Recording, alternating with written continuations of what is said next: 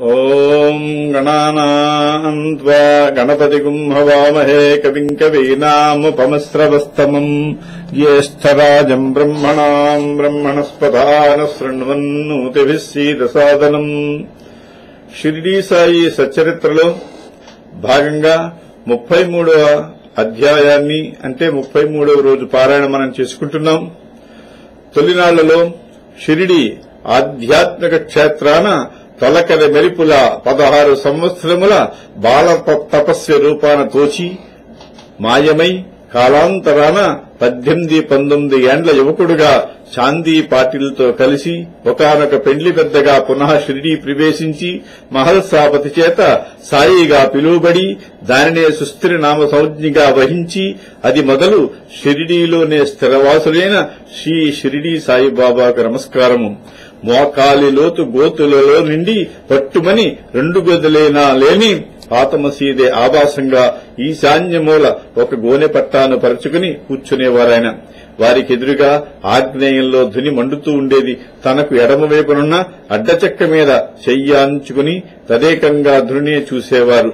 దానికి పడమరగా నీటి కుండలు ఉండేవి. వాటి పక్కనున్న గూటిలో శ్రీ బాబా తమ చిలుంగొట్టాన్ని నాటుపోగుతూ ఉండే చిన్ని సంచిని ఉంచేవారు. మసీదుకు ముంగిట్లో ఎదురుగా తులసి బృందావనం ప్రతిష్ఠించారు. శ్రీ బాబాకు కుడివైపున ఒక తిరగలి ఉండేది. తరచూ ఆ తిరగలితోనే శ్రీ సాయి స్వయంగా గోధుమలను విసిరి గ్రామంలో కలరా ప్రబలకుండా ఉండడం కోసం ఆ గోధుమ పిండిని ఊరు పొలిమేరలలో చల్లుతూ ఉండేవారు. మొదటి రోజుల్లో శ్రీ సాయి నాలుగైదు రోజులు ఒకసారి ఉదయం ఏడున్నర నుంచి ప్రాంతాలలో బావి దగ్గరికి వెళ్ళి కాళ్ళు చేతులు కడుక్కొని నీళ్ళు పుక్కిలించి ఉమ్మేవారు. ఆ నీళ్ళను ఎందరో కుష్ఠరోగులు తమ శరీరాలకు రాసుకోగా వారి పుండ్లు తగ్గిపోతూ ఉండేవి. ఎవరైనా శ్రీ బాబాను స్నానం చేయమంటే ఇప్పుడే కాశీలో గంగా స్నానం చేసి వస్తున్నాను మళ్ళా ఎందుకు అనేవారు శ్రీ బాబా. పెరుగుతున్న భక్తులు ఊరుకోలేక రెండు కా రాగి కాగిల వేణీళ్ళు రెండు బిందుల చన్నీళ్ళు తెచ్చి మసీదులో పెట్టి చుట్టూ తరలదింపేవారు శ్రీ సాయి ఆ నీళ్ళు ఇటు తొలిపి అటు తొలిపి నీళ్ళ బాల్చాల దగ్గర పసిపిల్లలు ఆడినట్లుగా ఆడుతూ పడుతూ గంటన్నర రెండు గంటల సేపు స్నానం చేసి వచ్చి ధుని నిలబడేవారు. తొడుగుకున్న చొక్కాగాక మరో చొక్కాయే ఉండేది కాదు. ఎప్పుడైనా కపి మార్చాలనిపిస్తే కాశీనాథ్ అనే దర్జేవాడిని కొత్త కపిలిని బెత్తాయించి అతనికి తెచ్చి ఇచ్చాక దానిని ధరించి పాతదారిని దానిని పడేసి ఒక నమస్కారం చేసేవారు. కఫిని మార్చడం మరీ ఆలస్యమై చెరుగులు పెడితే ఏ మధ్యాహ్నం ఎప్పుడో ఒంటరిగా కూర్చుని ఒక ముళ్ళును సూదిలా ఉపయోగిస్తూ మాసికులు వేసుకునేవారు. ఎప్పుడో బుద్ధి పుట్టినప్పుడు బాలా అనే నాయి బ్రాహ్మణుడి చేత నున్నగా గుండు గీయించుకునేవారు. వారగా మీసం కత్తిరింపించుకునేవారు. శ్రీ బాబా రాత్రి పగలు కూడా తరచుగా తాంబూలం వేసుకునేవారు. పూట పూటకు శ్రీ బాబా భక్తుల సంఖ్య పెరిగిపోకసాగింది పెద్ద పెద్ద ఉద్యోగస్తులు న్యాయాధికారులు ప్లేడర్లు వైద్యులు ధనవంతులు మొదలైన వాళ్ళతో షిరిడీ కొత్త కళలను సంతరించుకుంటోంది. బాబా భక్తులు శ్రీ సాయికి రకరకాల వస్త్రాలను సమర్పించేవారు. శ్రీ సాయి వాటిని ప్రసాదంగా పునః వారికే ఇచ్చేసేవారు. పంతొమ్మిది వందల పదిహేనులో రేగే అనే భక్తుడు ఒక మస్లిన్ గుడ్డను శ్రీ బాబా కోసం తెచ్చాడు. అది శ్రీ బాబా ధరించాలని అతని కోరిక. కానీ అన్ని వస్త్రాలకు మళ్ళీ అనే దీనిని కూడా తిరిగి ఇచ్చేస్తారేమోనని భయం. అందువల్ల దానిని ఆయన చేతికి ఇయకుండా ఆసనం కిందే అట్టే పెట్టాడు. అనేక మంది వస్త్రాలు ఇచ్చారు. శ్రీ బాబా ఎవరి వారికి ఇచ్చేశారు? చివరగా ఆయన లేచి నిలబడి ఆసనాన్ని దులపగా అక్కడ రేగే దాసిన మస్లిన్ గుడ్డ బయటపడింది. శ్రీ బాబా దానిని భుజాల మీద కప్పుకుని ఇది నాది. ఇది కప్పుకుంటే చాలా అందంగా ఉన్నాను కదా అంటూ రేగెక్కేసి నవ్వుతూ చూశారు. జేబులో డబ్బులు లేని వాళ్ళని శ్రీ బాబా దక్షిణ అడగరని తెలిసిన ఒక భక్తుడు తన డబ్బులన్నీ కొలంబే అనేవాడి జేబులో దాపించి అతనితో సహా మసీదుకు వచ్చాడు. వాళ్ళిద్దరూ కూడా దర్బార్లోకి రాగానే శ్రీ సాయి ఆ భక్తుని చూసి ఆ కొలంబే దగ్గర నుంచి ఈ రెండు రూపాయలు తీసుకుని ఇలా అని ఒక గదుము గదిమారు పాపం ఇవ్వక తప్పక లేదు తనకి. కాకా మహాజని అనేవాడు నీల విరోచనలతో బాధపడుతుంటే శ్రీ బాబా అతను చేరవిలిచి ఒక నాలుగు గుప్పెళ్ళు వేరుశనగపప్పు తినిపించి మంచినీళ్ళు తాగమన్నారు. అసలే బేదలవుతుంటే ఈ పల్లీలు ఏంటరా బాబా అనుకుంటూనే కాకా మహాజని పల్లీలు తిన్నాడు మంచినీళ్ళు తాగాడు. అప్పుడు శ్రీ బాబా ఇంక నీ బేదులు బంద్ ఓ హాయిగా పనిచేసుకో అన్నారు. నిజంగానే ఆ క్షణం నుంచి అతని బేదులు కట్టివిడిపోయాయి. ఒకరొకసారి శ్రీ బాబాను ఆశ్రయించి ఐదు గదుల్లో ఇల్లు కట్టుకోవాలనుకుంటున్నాను. అది నెరవేరాలని నువ్వు ఆశీర్వదిస్తే గదికో రూపాయి ఇస్తానన్నాడు. సరేలే అన్నారు శ్రీ బాబా. వెంటనే అతను ఒక ఐదు రూపాయలు ఇవ్వబోయాడు. శ్రీ సాయి ఐదు కాదు ఇరవై ఐదు ఇయ్యి అన్నారు. నేను గదికి రూపాయే చెప్పానన్నాడు అతను. నువ్వెవడికి చెప్పడానికి ఇరవై ఐదు ఇయ్యి అన్నారు. శ్రీ బాబా తప్పదురా అనుకుంటూ అతను ఇరవై ఐదు రూపాయలు చెల్లించుకున్నాడు. చిత్రం ఏమిటంటే ఐదు గదుల ఇల్లుగా ఆరంభించిన ఆ నిర్మాణం పాతిక గదుల భవంతిగా పరిణమించింది. బాలాభాటి అనే అతను తన కుమార్తె పెళ్ళికు ఒక సంబంధం చూసి శ్రీ బాబా ఆశీస్సుల కోసం వచ్చాడు. అంతకంటే ఆ పిల్లని అప్ప అనే వంటవాడి గీయడం మంచిదని చెప్పారు శ్రీ సాయి. కానీ బాలాభాట్యకి తన తెచ్చిన సంబంధం మీదనే మోజుగా ఉండడం వలన ఆ సంబంధానికి శ్రీ సాయి అంగీకారం సాధించారని పునః పునః ప్రశ్నించేవాడు. చిరాకపడిన శ్రీ సాగి సరే నీ ఇష్టం వచ్చిన వాడికి ఇచ్చి చేసుకో. పో ఏడ్చుకో అన్నారు. బాలాబాటి ఆనందంగా పెళ్ళి జరిపించాడు. ఆరు నెలలు తిరగకుండానే అల్లుడు మరణించాడు. అప్పుడు దర్బారులో శ్రీ బాబా ప్రతివాడు ఇక్కడికి వచ్చి నీకు అన్నీ తెలుసు కదా బాబా నాకు మంచి చెప్పు అని అడిగేవాడే. చెబితే విని చచ్చేవాడేడి? ఒక్కడు కూడా లేడు అన్నారు. నిజమే కదా. ఏ పుణ్యం వల్లనో శ్రీ సాయి వంటి సహకారం లభించినా ఏ దౌర్భాగ్యమో దాన్ని హరించి చేస్తోందే గాని వారి సలహాలను శిక్షణను తీసుకోనీయడం లేదు కదా. ఇంత పాలన చేస్తాం పుస్తకం మూసేయగానే మన మగమాటాలు అహంకారాలు అభిమానాలు అభిజాత్యాలు అధికారాలు అతి తెలివితేటలు అన్ని మామూలే. అందుకు కారణం ఒకటే శ్రీ సాయిబాబాను మనం వాడుకోవాలని చూస్తున్నామే గాని యథార్థంగా ఆయన ఏమిటో గుర్తించలేకపోతున్నాం. అని శ్రీ రమణ మహర్షి చెప్పినట్లు శ్రీ సాయి వంటి అవతార పురుషులను ఏ కొందరో మాత్రమే అధికంగా తెలుసుకోగలుగుతారు. అందుకే భక్తులు ఆశ్రితులు మాత్రమే కాక ఆనాటికే మహారాష్ట్రలో మహారాష్ట్రలో లబ్ధ ప్రతిష్టలు ఎందరో యోగి పొంగువలు కూడా షిరిడి వచ్చి శ్రీ బాబా దర్శనం చేసుకునేవారు. శ్రీ బాబా తమ భక్తులపైన అనేక పర్యాయాలు కోపడని ఘట్టాలు కూడా ఉన్నాయి. భక్తులు భయపడేవారు బాధపడేవారు. కానీ నాసిక్కి చెందిన గాడ్గీ మహారాజుని సద్గురు శ్రీ సాయి దర్శనం రాగానే శ్రీ బాబా అతగాని అనరాని వినరని తిట్లు తిట్టారు. గాడ్గి పక్కన నవ్వి ఆశీస్సులందే అన్నారు. అప్పుడు శ్రీ సాయి కూడా గలగలా నవ్వేశారు. ఆ గాడ్గియే కాదు ఏనాడు ఎవరి దర్శనానికి వెళ్ళని గజానన్ మహారాజు శ్రీడి వచ్చి మసీదు బయట కూర్చుంటే శ్రీ సాయి ఆ పెద్ద మనిషిని కనీసం లోనికి కూడా ఆహ్వానించలేదు. పైగా గజానన్ ఎటో చూస్తున్నప్పుడు శ్రీ సాయి ఆయన కేసి ప్రేమగా చూడడం శ్రీ సాయి ఎటో చూస్తున్నప్పుడు గజానన్ ఈయనను స్నేహంగా చూడడం జరిగేది. అదే విధంగా ధుని వాలా దాదా ప్రథమ శిష్యుడైన చోటే దాదా అనే సిద్ధపురుషుడు కూడా షిరిడి వచ్చి శ్రీ బాబా దర్శనం చేసుకోక తప్పలేదు.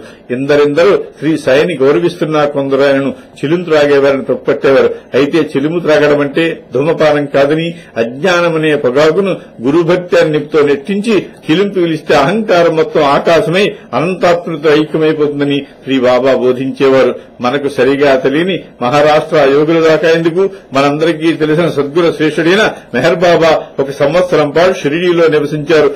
ఆ సందర్భంలో గుప్తాన్ అనే శిష్యునితో మెహర్ బాబా శ్రీ సాయిబాబా ఎంత గొప్పవారో తెలుసుకోవడం నీలాంటి వాళ్ళకి సాధ్యమయ్యే పని కాదు. పరిపూర్ణమైన ఆధ్యాత్మిక తత్వమే శ్రీ సాయిగా అవతరించింది. ఆయన తన శిష్యులకే కాదు సృష్టి మొత్తానికే జగద్గురువును తెలుసుకో.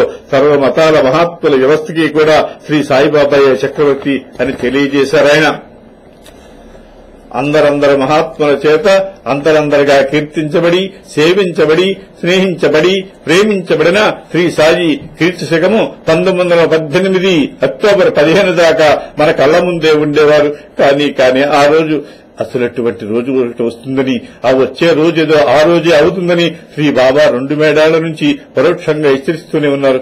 కానీ ఎవరూ మాత్రం గుర్తించలేకపోయారు.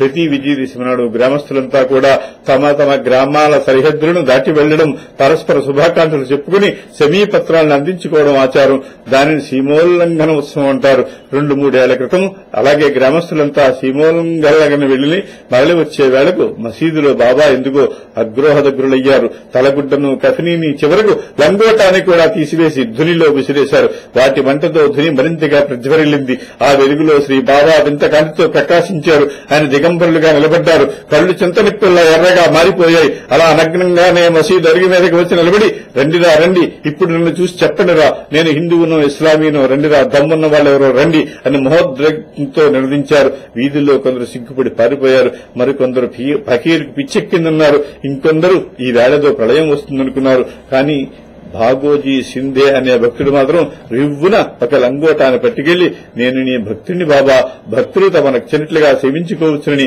నువ్వే వరం ఇచ్చావు కదా దయచేసి ఈ లంగోట నీ కట్టని బాబా అని కోరడంతో అంత ఆదేశంలోనూ కూడా వాగ్దానం తప్పని బాబా అతన్ని మన్నించారు. అటు ఇటు కోపంగా ప్రచారం చేస్తున్న శ్రీ బాబాకు అతి కష్టం మీద లంగోటాన్ని కట్టబెట్టాడు భాగోజీ. అనంతరం సీమోల్లంఘనం పండగ పూట ఈ కోపమేమిటి బాబా అని అడిగితే తన శతకాతో నేలను బాదుతూ ఈ రోజున సీమోల్లంఘనం రా అని అరిచారు. భూమిని బాదుతూ చెప్పారు కనుక భూలోకాన్ని దాటి పెడతానని అర్థం కావచ్చు. లేదా విజయదశమి నాడే తాను నిర్యాణం దాన్ని హెచ్చరిక కావచ్చు. అసలు ఆయన కోపంతో అలా శివతాండవం చేసేస్తుంటే అంతరార్థాన్ని తత్వాన్ని ఆలోచించేటంత అవకాశం లేదు కదా భక్తులకు. అందువలనే ఆ సూచనను ఎవరూ గ్రహించలేకపోయారు. ఈ పైఘట్టం జరిగిన కొన్నాళ్ళ తర్వాత రామచంద్ర పాఠీలు తీవ్రంగా జ్వరపడ్డాడు. చావు తప్పదని భయపడ్డాడు. ఒకనాటి రాత్రి శ్రీ బాబా అతని తలవైపునకి నిలబడి కనిపించారు. పాటీడానికి నమస్కరించి బాబా బ్రతకల్ని రూఢి అయిపోయింది. ఏ క్షణాన్ని పోతానోనే భయంతో బతకలేను. దయచేసి ఎప్పుడు చచ్చిపోతానో చెప్పు తండ్రిని ప్రార్థించాడు. శ్రీ సాయిబాబా అతనికి అభయం ఇచ్చారు. భయపడకు.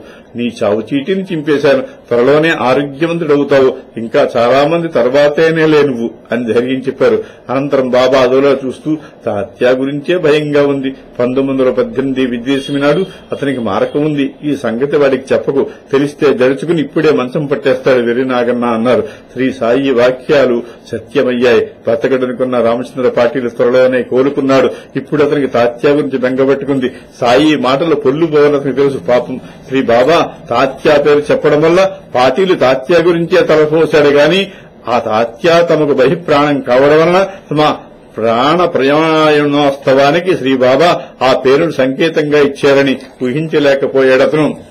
యాభై ఎనభై సంవత్సరాల ప్రాయంతో శ్రీ బాబా అరముగ్గిన దోసపండు వన్నెలు నిరంతర తపోజాత మహాదగ్నులు కాలి కాలి మెరుగెక్కిన మేలిమి బంగారంలో మెరిసిపోతూ ఉండేవారు. అనవరత ఆత్మానుసంధానం వలన వైరాగ్యం వలన ఏ దౌర్భాగ్య కల్మషము తాకని శరత్ పూర్ణ చంద్రాభంగా ప్రశాంతంగా ప్రసాదంగా ప్రసన్నంగా ఉండేవారు. వారి పాదాలు బాగా పడిన తమలపాకుల్లా ఉండేవి. ఆ వయసులో కూడా ఆయన తన పనుల కోసం ఎవరి మీద ఆధారపడలేదు. తరచుగా ఆయన సాయి అంటే ఈ ఐదు మూల శరీరమే కాదు సుమా ఈ తోలుబొమ్మ ఈవేళ ఉండవచ్చు రేపు పడిపోవచ్చు. అయినా సాయి శక్తి మాత్రం భక్తుల్ని అన్ని వేళలా కాపాడుతూనే ఉంటుంది. నా సమాధి కదులుతుంది. నా ఎముకలు మాట్లాడతాయి. నన్ను నమ్మిన వాళ్ళని నేను సమాధి నుంచే కాపాడుతాను అంటూ ఉండేవారు. పంతొమ్మిది వందల పద్దెనిమిదో సంవత్సరం ప్రవేశించిన తొలి భాగంలో ప్రతి సంవత్సరము మాదిరిగానే ఉద్ద వేష్ శ్రీమతి చంద్రాబాయి బోర్కర్ వంటి వారు షిరిడీ వచ్చారు. శ్రీ బాబా వారిని దీవించి ఊదీ ప్రసాదాన్నిచ్చి ఇక నుంచి మీరిలా షిరిడీ వచ్చే శ్రమ తప్పుతుందిలేండి అన్నారు. అనంతరం చంద్రాబాయిని ఏదైనా కోరుకోమన్నారు. ఆమెకి అప్పటికే నలభై ఏళ్ళు పైబడిపోయాయి పిల్లలు లేరు. అయినా ఏమీ అడగకుండా నా కోరిక నీకు తెలుసులే సాయి అని ఊరుకుంది. శ్రీ సాయి క్షణం ఆమె కేసు చూసి సరే నీ కోరిక తీరుస్తానని అన్నారు. మరికొన్నాళ్ళ తర్వాత బడే బాబా కొడుకైన కాశ్మీర్ మసీదుకు పిలిచి కోడి పొలవు తినిపించారు. అనంతరం అతనికి కొంత సొమ్మును ఓ పూలదండను ఇచ్చి ఔరంగాబాద్ వెళ్ళు అక్కడ ఫకీర్ శంషుద్దూర్ మియాకు రెండు వందల యాభై రూపాయలు ఇచ్చి మౌలు కవ్వాలి నియాజ్ జరిపించమను. ఈ దండను బన్నే మియా ఫకీర్ మెడలో వెయ్యి తొమ్మిదో నెల తొమ్మిదో రోజున అల్లా వెలిగిన దీపాన్ని అల్లాయే తీసుకుపోతాడని చెప్పని బోధించి పంపించారు. అది పంతొమ్మిది వందల పద్దెనిమిది సెప్టెంబర్ పద్దెనిమిది అయిన రవ్వంత జ్వరపడ్డారు సాయి. అది మొదలు నాలుగు రోజుల తర్వాత నుంచి భిక్షకు వెళ్ళడం కానీ గ్రామంలోకి లెండి వైపుకు చావిడికేసి తిరగడం కానీ మానివేశారు. మసీదులోనే అలా కూర్చుండి ఉండేవారు. క్రమక్రమంగా బలహీనపడిపోతున్నారు సాయి. రోజు రోజుకి దిగజారిపోతున్న శ్రీ బాబా ఆరోగ్యం గురించి ఎందరో ఆందోళన చెందారు. వారి పరామర్శలకు పలకరింపులకు శ్రీ సాయి నవ్వుకునేవారు. చివరకు ఒక భక్తుడు శ్రీబాబాను పలకరించి గొల్లునే ఏడవసాగాడు అతన్ని చూసి పకపక నవ్వుతూ శ్రీ సాయి ఈ విధంగా బోధించారు. ఎందుకు ఏడుస్తావు? నేను చచ్చిపోతానన్నా. పోనీ నీకోసం నేను చావనయ్యా. బతికే ఉంటాను. మరి నేను ఉన్నన్న నాడు నువ్వు ఉంటావా ఈ బూటి ఆ తాత్య మహల్స శ్యామ మీరంతా ఉండగలరా? నన్నుండమని మీరు పోవడం న్యాయమా పిచ్చివాడా? ఎక్కడికి పోతాను? అక్కడ అల్లా దగ్గర అంతా కలుసుకోవలసిన వాళ్ళమే. చూడు ఈ శరీరం శాశ్వతం కాదు. మారిపోతూ ఉంటుంది. నేను ఈ షిరిడి వచ్చినప్పుడు ఈ శరీరం ఎలా ఉందా? అంతకు ముందు ఎలా ఉందో తెలుసా? ఇప్పుడు ఎలా అయిపోయిందో చూసావా? పోనీ నువ్వు నిచ్చిన కొత్తలో ఈ షిరిడి ఎలా ఉండేది? ఇప్పుడు ఎలా మారిపోయింది అమాయకుడా దిగులు మానే నిత్యం మారిపోతూ ఉంటుంది కాబట్టి దీనిని జగత్తు అన్నారు మీరు పుట్టినప్పటిలా ఎప్పుడూ లేరు. కనీసం చిన్నప్పటిలా కూడా లేరు కదా. అసలు రేపు అసలు ఉండనే ఉండదు. మొన్నటిలా నిన్న లేదు నిన్నటిలా ఈవేళ లేదు. ఈవేళలా రేపు ఉండదు. ఇంకా దుఃఖం ఎందుకయ్యా? ఇంకొక విషయం కూడా విను. నేనేమీ అనను. ఈ తోలు తిత్తి మాత్రమే పత్రమైపోతుంది. పోనీ ఇది పోయాక కూడా నేను ఎప్పటిలాగానే మీరు పిలవగానే పలుకుతాను నాయన. మీకు ఏ సహాయం కావాల్సిన అందిస్తాను. మీరు నా మీద ప్రేమ విశ్వాసం భక్తి నిరపాలే గాని. మీకు కనపడకపోయినా అన్ని విధాలా మిమ్మల్ని నేను ఆదుకుంటూనే ఉంటాను. వెర్రి ముర్రి ఆలోచనలతో సమయాన్ని వృధా చేయకుండా వీలైనంత ఎక్కువసేపు భగవన్నామన స్మరణ చేసుకోండి. అక్టోబర్ మూడవ తేదీ. దీక్షతో పురందరే. ఆయన దర్శనానికి వెళ్ళారు శ్రీ సాయి చిరునవ్వు నవ్వుతూనే నా సమాధి అది కదులుతుంది. నా ఎముకలు మాట్లాడతాయి. నా మట్టి సమాధానపరుస్తుంది. నా నామం పలుకుతుంది. మీరు వెంటనే వెళ్ళిపోండి అని ఊదినిచ్చి పంపించేశారు. జ్వరంతో ఉన్న తాత్యాన్ని పనికట్టుకుని మసీదుకు రప్పించి పాయసం తినిపించి మనిద్దరికీ రెండు డోలీలు ఏర్పాటు చేశాను. కానీ మనసొప్పటం లేదయ్యా. నే వెళతాను. నువ్వు ఇంటికి వెళ్ళు అని బలవంతంగా పంపేశారు. అది చూసి కన్నీరు పెట్టుకున్న దామును ఎందుకు ఏడుస్తావు బతికే ఉన్నానుగా. ఒకవేళ నేను చనిపోయిన తర్వాత అయినా సరే ఏడ్చావంటే మాత్రం తన్నులు తింటావు జాగ్రత్తని కేసరారు. నాకు ఈ మసీదు ఆ చావడి ఏం బాగాలేవు. చిరాకు కలిగిస్తున్నాయి. నేను ఆ బూటీ కట్టిన రాతి మేళ్ళకు వెళ్ళిపోతానని బెదిరింపుగా హెచ్చరించారు. ఎవరైనా అవసర దశలో ఉన్నప్పుడు వారి దగ్గర మత గ్రంథాల పారాయణ చేయడం భగవంతుని భజన చేయడం ఒక ఆచారం. తద్వారా జీవులు ఏ పాటి స్వీకృతులైనా శ్వాసనైనా ప్రాపంచిక విషయాల పట్ల విరక్తి చెంది మనసును భగవదాయుత్తం చేస్తారని తద్వారా ఉత్తమతలు పొందుతారని ఆర్షవాక్యం ఎవరు తుది కాలమందు నన్నే స్మరిస్తూ వర్ణిస్తారో వాడు నా భావాన్నే పొందుతారు అని శ్రీకృష్ణుడు చెప్పినంతఅందరకు తెలిసిందే కదా. నిజానికి యోగి చంద్రుడైన శ్రీ బాబాకు అటువంటి సాంప్రదాయాలతో అవసరం లేకపోయినా ఆద్య తన భావిలో తన భక్తులు పాటించవలసిన ధర్మాన్ని ఆచరణ పూర్వకంగా చూపించడం కోసం వజే అనేవారి చేత శ్రీరామ విజయం అనే గ్రంథాన్ని పారాయణ చేయించారు.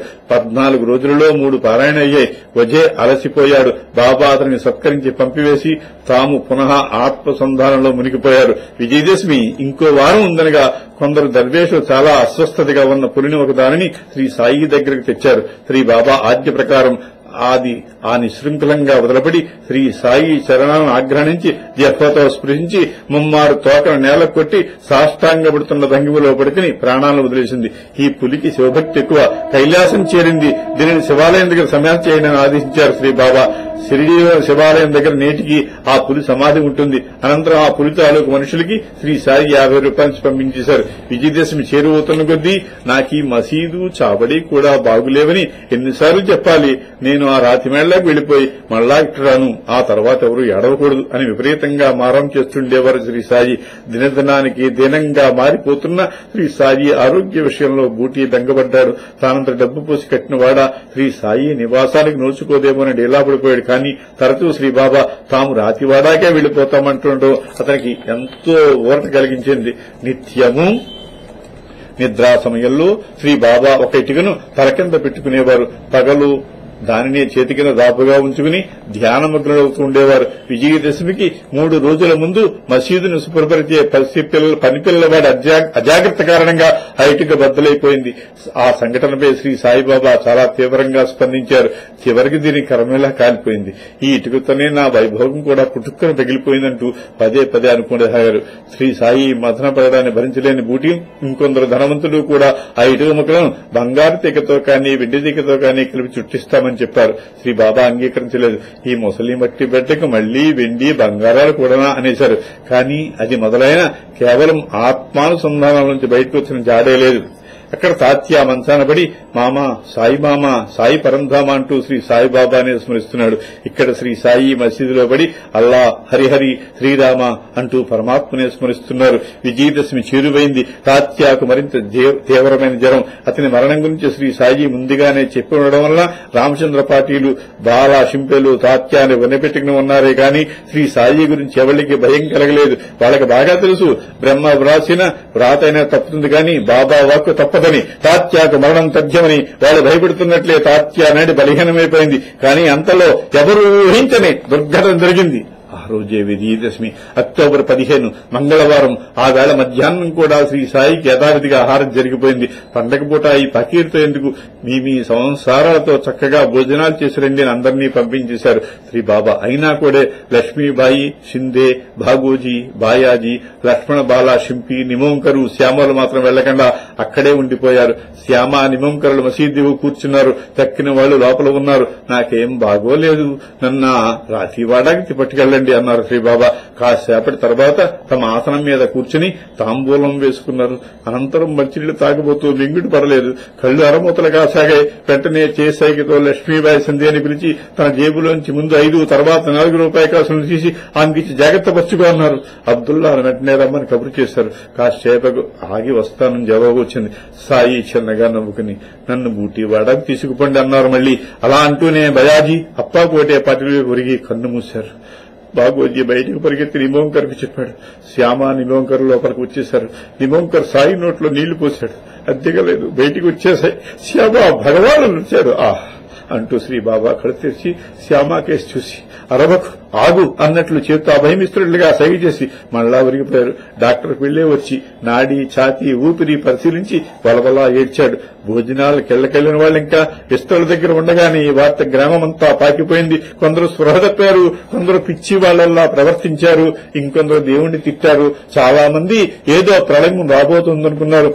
ఆబాల గోపాలము రొమ్ములు బాదుకుంటూ గోడు గోడమంటూ అమర మసీదుకు చేరుకోసాగింది సదా నింబ వృక్షస్య మూలాధివాసాదు. సుధా శ్రావణం తిక్తమస్య ప్రియంతం. వేప చెట్లు చేదిక్కాయి బావి నీళ్ళు ఉప్పబడిపోయాయి ప్రతి నోట బాబా బాబా అంటూ శ్రీ సాయినామమే పలికింది. అంటూ ముట్టు ఆడ మగ మడి మైల కులం మతం రోగం భోగం రొష్టు కుష్టు అనే భేదాలు పట్టించకుండా ఒకరినొకరు వెరుసుకుపోతూ గుంపులు గుంపులుగా జనమంతా మసీద్ కేసు పరుగులు తీస్తున్నారు. ఇటు విన్నా దీనా రవమే ఇటు కన్నా అపాతాశ్రు జలధారలే తామే స్థితిలో ఉన్నారో కనీసం ఒంటి మీద బట్టలైనా సరిగ్గా ఉన్నాయో లేదో చూసుకోకుండానే స్త్రీ బాల వృద్ధ యువతరాలన్నీ శ్రీ సాయినాథునిగా ఎలుగెత్తి ఏడుస్తూ మసీదుకి ప్రవహించాయి అత్యంత ఆతృతో వచ్చిన అబ్దుల్లా తన దురదృష్టానికి దూరూహ్యంగా దుఃఖించాడు. భక్తులందరూ దర్శించుకోవడానికి వీలుగా శ్రీ బాబా దేహం కూర్చోబెట్టబడింది ఏ రోజునా భయం కాని దుఃఖం కాని ఎరగని నానావళి కూడా విపరీతంగా ఏడ్చాడు. అతని ముఖం కన్నీటి అక్షయ పాత్రల కావిడలా అనిపించింది. కేవలం శ్రీ బాబా కళేబరాన్ని దర్శించడానికే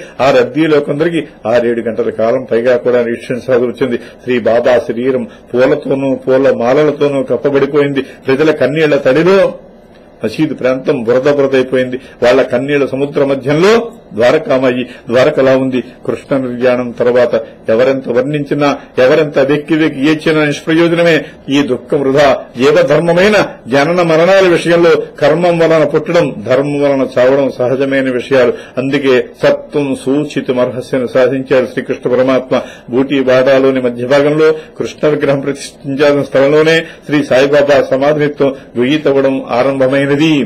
स्वस्ति प्रजाभ्यः परिपालयन्ताम् न्यायेन मार्गेण महीम् महीषाः गोब्राह्मणेभ्यः शुभमस्तु नित्यम् लोकाः समस्ताः शुकिनो भवन्तु।